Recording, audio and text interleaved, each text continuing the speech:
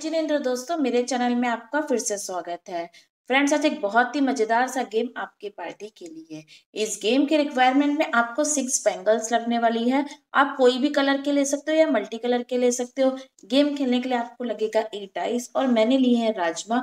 बिल्कुल ऑप्शनल है। इसकी जगह आप कॉइन्स बेड्स चने भी ले सकते हैं। गेम इस प्रकार से खेला जाएगा वन बाय वन मेंबर आएँगे। उनके सामने ये छह बैंगल इस तरीके से रख दी जाएगी। जैसे ये one two three four five six इस तरीके से रखी जाएगी। नो टाइम लिमिट गेम है। उन्हें क्या करना है?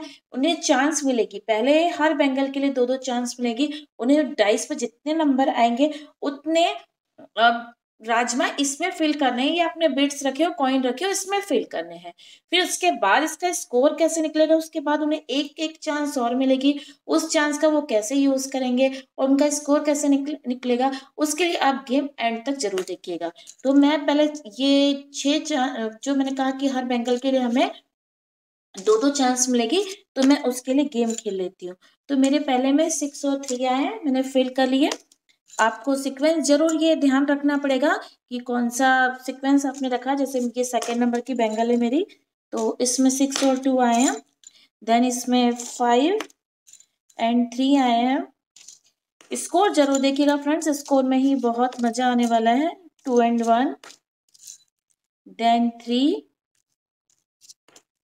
और फटाफट ये गेम हो जाता है फ्रेंड्स तो थ्री इसमें मैंने फिल कर दिए हैं। टू एंड अगेन टू तो ये मेरी दो दो चांस में ये फेल हो गई है।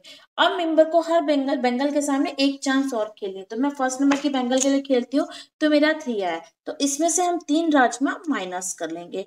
माइनस करे हुए राजमा आपको एक जगह जमा करना है, क्योंकि स्कोर इस पर डिपेंड करता है। सेकेंड नंबर की बेंगल से मेरे सिक्स राजमा निकल जाएँगे। मेरा सिक्स आ गया है। फील करने में आपके बड़े नंबर और निकालने में जितने छोटे नंबर आएँगे, उतना अच्छा रहेगा। इसमें से वन हटेगा।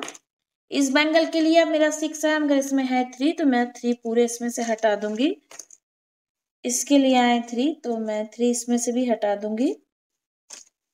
और लास्ट के लिए आए फाइव और इसमें है फोर तो ये भी हटा दूँगी। तो इतने मैंने राजमा पूरे हटा दिए हैं और इतने मेरे बैंगल में राजमा है। तो इसका स्कोर आप इस तरीके से निकाल सकते हो कि इवन ऑट का रोल रख सकते हो कि इवन जो राजमा निकल गए उसके लिए और ऑड इसके लिए।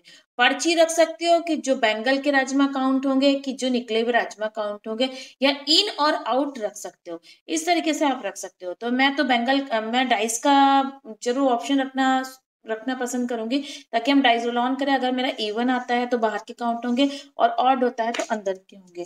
तो मेरा ऑड आ गया तो मेरे जितने राजमा अंदर है, उतना मेरा स्कोर इस गेम में बनेगा। तो फ्रेंड्स यही है आज का गेम बहुत इंटरेस्टिंग और बहुत मज़ेदार होने वाला है। अगर गेम पसंद आया तो वीडियो को लाइक और शेयर करके चैनल को ज़रूर सब्सक्राइब कीजिए। अब ग्रेट डे दोस्तों। Bye bye take care